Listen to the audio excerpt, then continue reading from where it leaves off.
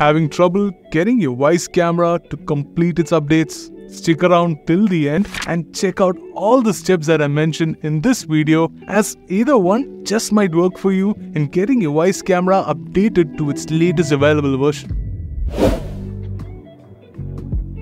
Now, if automated OTA updates are not working for you, you can try to manually invoke the update process. Most Wyze cameras support an SD card and with this provision, you can manually flash a firmware on your camera without depending on the Wyze app. To manually flash a firmware on your Wyze camera, first get hold of an exFAT or a FAT32 formatted microSD card. Next, head over to the Wyze release notes and firmware page from a browser, which I've added in the description below. Download the firmware corresponding to your Wyze camera. Extract the files to your SD card and ensure to rename the file as shown on screen.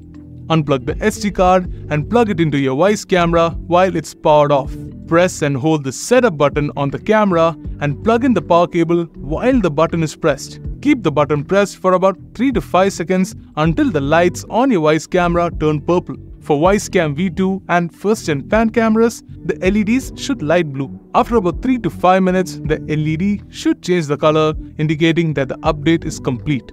You can also manually check the firmware version of your camera using the Wyze app and trigger the automated update process by tapping on the thumbnail of your camera from the Wyze app. Then tap on the settings gear on top and navigate to the device info tile. Tap on the firmware version tab to invoke the update. The easiest and the most effective fix for most issues on your Wyze camera is to simply power cycle the device. Power cycling is a mode of rebooting your device, but on the hardware end. In doing so, you quash a lot of bugs and errors which might be the reason behind your Wyze cameras not updating to its latest version. To power cycle your Wyze camera, simply unplug it from its power supply and plug it back in after a few seconds. For the battery powered versions, ensure that the batteries have sufficient charge to sustain the operations of your camera. If you're having trouble charging the battery properly, consider replacing the battery pack. With wired Wyze cameras, make sure that the condition of your cables and the power adapter is fine. Wear and tear and nasty bends can all impede the power supply. Switch any such damaged accessories with new ones, preferably from Wyze or any reputed brand.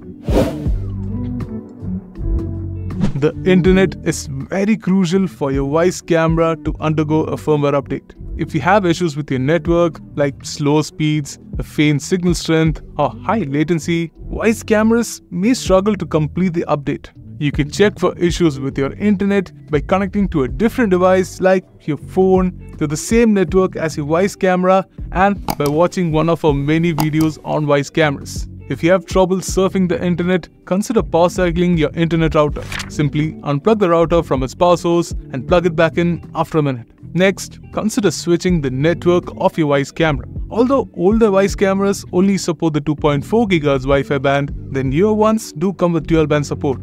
To change the network of your Wyze camera, open the Wyze app and select the plus sign. Select Add Device and tap on Cameras. Choose your Wyze camera from the list of devices and follow through with the setup process until you reach the Network Selection tab. Choose a network of your liking and enter the login credentials to complete the setup. Also, be mindful of the distance between your camera and your internet router. If the signal strength is feeble, place the camera closer to your internet router without much obstacles in between. Opting for Wi-Fi extenders or mesh points is a great way to enhance the signal strength. Once you've ensured a proper power supply and a stable network connection, try updating your cameras once again. If the steps that I've mentioned so far are not working for you, you can try resetting your Wyze cameras to its factory defaults.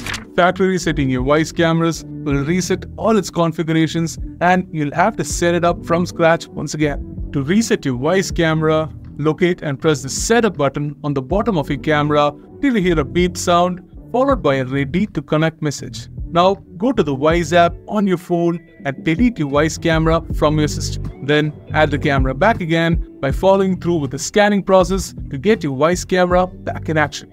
Following all the steps that I've mentioned so far should help your Wyze cameras get updated to its latest available version without much hassle.